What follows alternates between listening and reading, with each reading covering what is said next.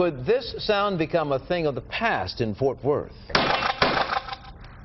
And tonight, Fort Worth is uh, one of the cities considering new technology to know the moment a shot is fired. This is called ShotSpotter, and police departments nationwide have spent millions on it.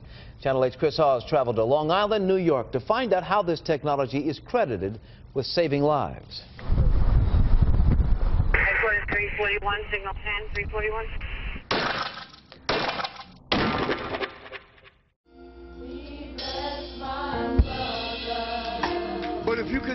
Continue in something that's not pleasing to God, Bishop R.W. Harris prayed for dozens of crime victims over the years as pastor of Grace Cathedral International in southern Long Island. One was killed down the street from his own home. I heard the shots when they actually went off. We're not really looking close enough at the problem, and the neighborhood gave up on us. They didn't call. Then, two years ago, the Nassau We County Police that Department bought ShotSpotter, a gunshot detection system. Here's how the system works. Somewhere in Nassau County, shots are fired.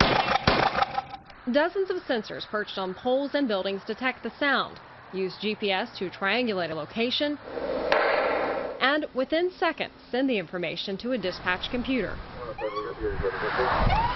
No one calls 911, but because of ShotSpotter, police get there in time to save a bleeding victim. It happened to this man in 2009.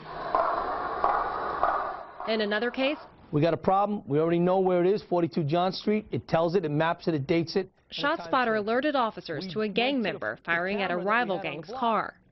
Several arrests were made with handguns recovered. Without ShotSpotter, do you think someone would have died? Absolutely. The department is one of more than 60 nationwide using the system. Here in North Texas, Dallas signed a contract for a small pilot project. For more than two years, however, the details could not be worked out. Last month, ShotSpotter decided to cancel plans for the pilot. In a letter, DPD says it may consider a newer ShotSpotter product. Fort Worth is also looking at the system.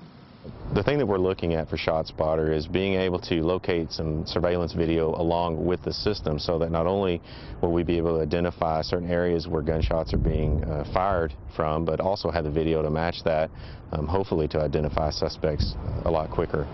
ShotSpotter Flex, the newest product, cost 40 to 60,000 a year per square mile. Our main concern right now is the cost. CSJ Analysis published a study on ShotSpotter this year. What was the biggest complaint about ShotSpotter? The agencies we interviewed, every one of them said that their biggest complaint was uh, false positives. That's a nail gun.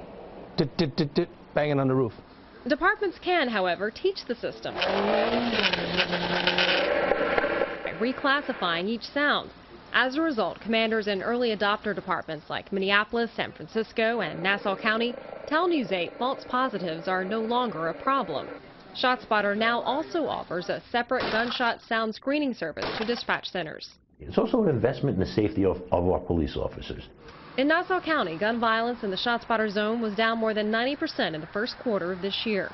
Now the potential perpetrators are aware that when they do fire a gun, that there's going to be almost an immediate response. It's created a trust, Bishop Harris says, that was not there before. That relationship might have been slowly built over time without the technology. But his community could not afford to wait. In Nassau County, New York, Chris Hawes, Channel 8 News.